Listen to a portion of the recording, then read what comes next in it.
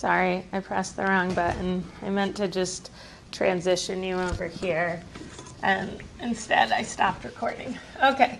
Um, all right. So if if step two, okay, so looking at the slides, our first step is NOBR2 produces NOBR2.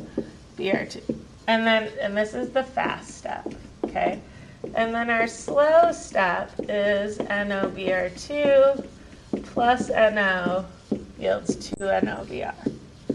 Okay, so if you look at this, all right, and we know that the second step is the rate determining step, then we would write the rate law as this. Rate equals K times NOBR2 times NO. Okay? Um, but there's a problem with that. NOBR2 is actually an intermediate. Okay? Um, and so you can't write a rate law to contain an intermediate because the intermediate is not going to be in the overall balanced equation. So what you need to do is you need to go back to your first equation and look at like, well, where did NO BR2 come from? It came from NO and BR2, right? These two things produced that one thing, right? Okay, so what we're going to do is we're going to replace this with what they were equal to, what it was equal to from the first reaction, which is the concentration of NO and the concentration of BR2.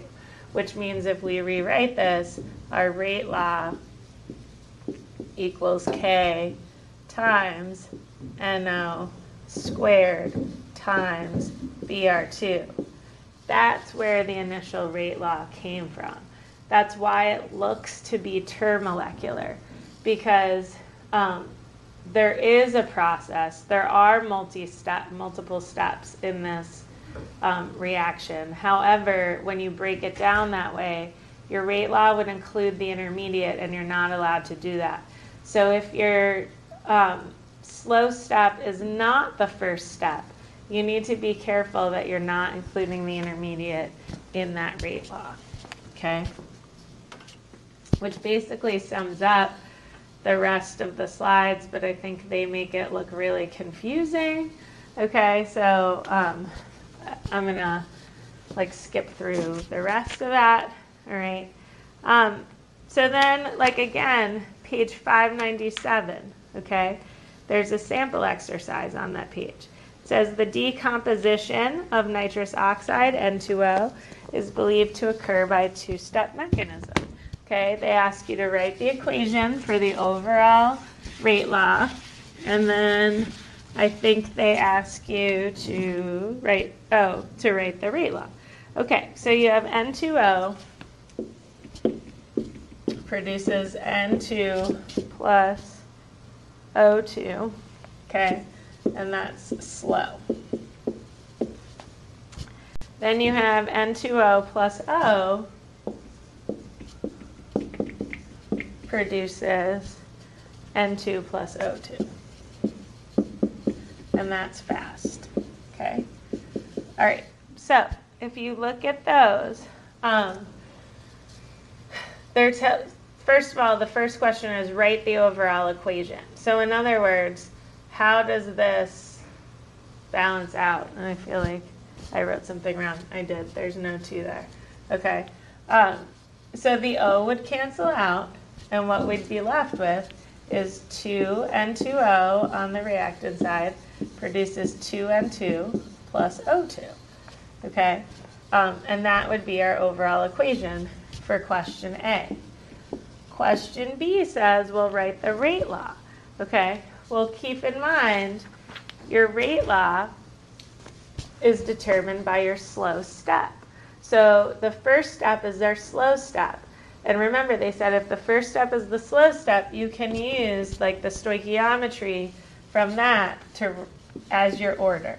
So rate equals k times n2o, and that's that. Okay. Um, so I would encourage you to try um, practice exercises one and two under that as well, just to see how you're doing with that.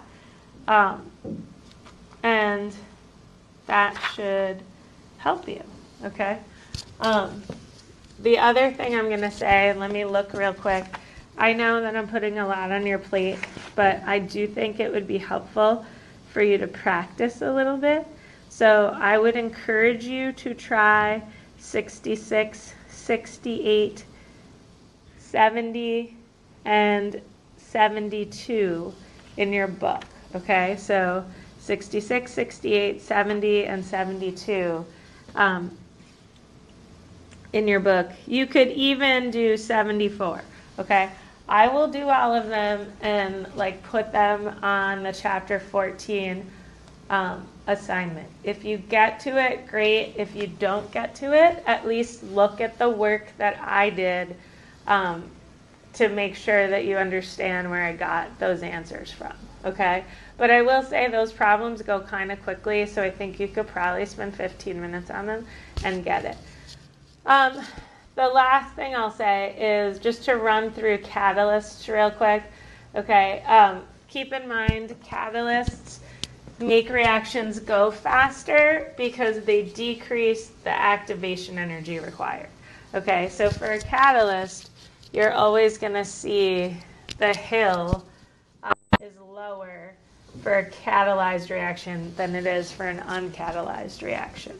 Okay, um, because catalysts change the process, it changes the mechanism that the reaction occurs, which is why like they're present in the beginning and they're present in the end. So they don't get used up, they're not reactants, they're not products like overall. They just like they participate by reacting and then getting produced later so that instead of having this simple mechanism, you have a more complicated mechanism that makes the reaction go faster. Okay. Um, there are two types of catalysts, or there's homogeneous catalysts and heterogeneous catalysts. Okay. What that means is that they're in the same phase. So, like, they're both liquids, or they're both aqueous, or they're both gases, or they're both solids. Okay. Uh, heterogeneous means that um, the catalyst is in a different phase, state of matter, than the reactants, okay? Um, you might want to like read up about it in the Princeton Review book or read these few pages on your own. There is usually like one AP test question related to catalysts where, you know, if you have time, you might want to look into it. Okay, you discussed enzymes um, in bio. So, you know, keep in mind that enzymes are catalysts, okay? Um, and that's that. All right, so that's the rest of chapter 14, okay? I will post these for you and you can um, watch them at your convenience between now and Monday. Thanks.